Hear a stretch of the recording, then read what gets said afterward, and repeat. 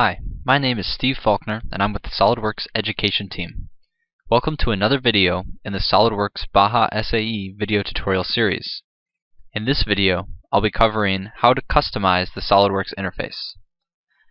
Specifically, I'll be covering how to edit and add toolbars, how to set keyboard shortcuts, how to set mouse gestures, and I'll be giving finally a brief overview of what macros are how to create them, and how to use third-party macros downloaded from 3D Content Central.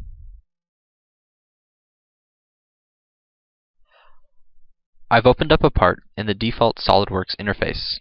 This is the interface that I use for almost all the videos, just to keep things simple, but you should definitely know there are lots of different ways to customize and change SOLIDWORKS to fit your preferences. The first and simplest way is via the Command Manager and the toolbar. The, the Command Manager is the bar located up top, and by right-clicking on it, I'll get a bunch of options for different tools and bars that I can add to this. I like to use the Command Manager for tutorials because it spells out in name all of the tools we can use, but unchecking Command Manager will revert me to the traditional toolbar format. As you become a more advanced user, this could be very beneficial and give you a lot more screen real estate to work with. Adding a new toolbar is as simple as right-clicking one of the existing toolbars and selecting the new toolbar I want to add. As you can see, reference geometry popped up over here. I can even pull it outside of the toolbar. And then I'm free to put it back in the toolbar and move it around as I please. If I right-click on the toolbar and then scroll all the way down to the bottom, there's also the option to customize, which brings up a window that'll give us even more options. From here, I have all the same selections. I can either enable the command manager or disable it, add or remove toolbars, as well as even adding commands to specific toolbars. Taking a detour and looking at the Tools menu, for example, if we go into Sketch Entities, we'll see that there are many more sketch entities that we can add to a sketch versus what's available by default in the toolbar. Adding one of these commands is as simple as dragging and dropping.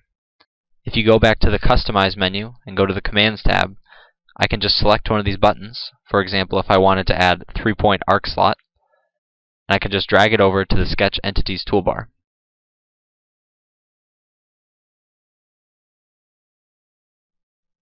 The next way we can customize SOLIDWORKS is by going over to the Keyboard tab. Here, we can set our own key bindings for shortcuts for commands and operations in SOLIDWORKS. By default, SOLIDWORKS does have a lot of shortcuts, and this is a great way to reference them, but you can see there are many commands that don't have shortcuts.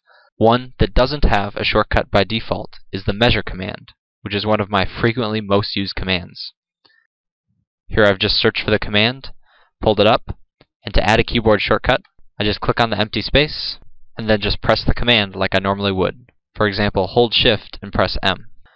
In this case though, I'm going to set the shortcut just to M. Since I use measure so often, I want to be able to have one-click access to it. Clicking OK, and it's now available. By just hitting M on the keyboard, it automatically executes the measure command, and all I have to do is click on the part that I want to measure.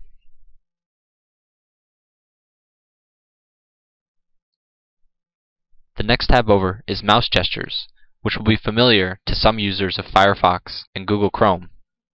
Mouse gestures works exactly like the keyboard command, I can search for a command, and then I can apply a mouse gesture to it, either in part, assembly, drawing, or sketch. For example, I can assign the measure command in a part to holding the right mouse button and then moving to the left.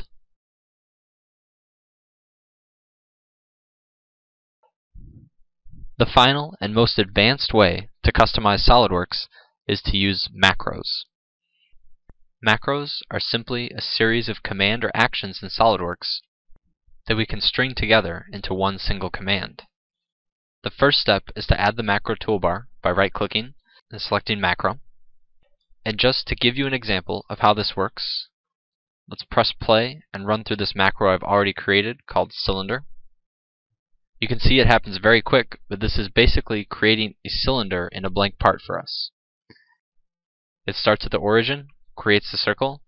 Now it's going to stop to ask me what I want the dimension for the outside of the cylinder to be. Once I confirm the dimension, it completes the cylinder. This example isn't particularly difficult, but you can see how we might be able to simplify very complex tasks. There are two ways to create macros. One is to record some ourselves, where we actually just go through the actions and SOLIDWORKS records everything that we do and we can play it back as a macro. We can also create our own using the SOLIDWORKS API and actually programming our own macro. I'll go ahead and open the cylinder macro so you can see what the program actually looks like. It will open it up in Microsoft Visual Basic Editor and here you can actually see the programmatic instructions to the SOLIDWORKS API. This is a very advanced way of creating macros and can get very complicated very quickly. But if you're familiar with Excel macros or creating other Visual Basic programs, this might be a good way to go. The last option is to access a supplied user library of macros available on 3D Content Central. For those of you that have never used 3D Content Central before, it's a great resource of user-supplied parts, assemblies, library features, blocks, and macros for SOLIDWORKS. If you search for Baja, you'll even see parts that have been uploaded by teams that have been tagged specifically for use in Baja SAE. In this case, though, I'm going to go to the macros section of the site, where there's categories that have macros for different parts of SOLIDWORKS. There's a lot of different options here. Shortcuts for simple things like creating a plane as well as more complicated things like getting the configuration names for all the configurations in your active part and saving them into a text file.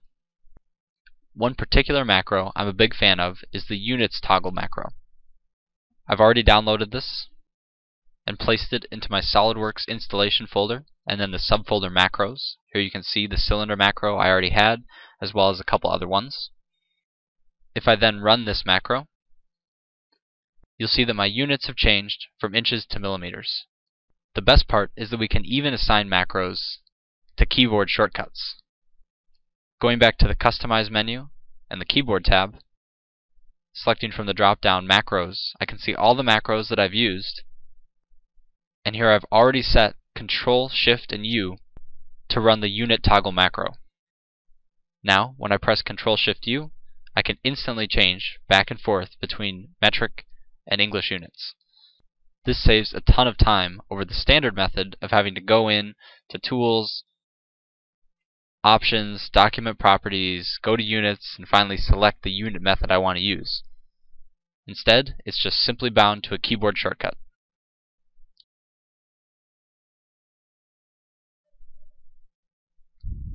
That concludes this video. If you have any comments, questions, or suggestions for future videos, please send them to sfaulkner at solidworks.com.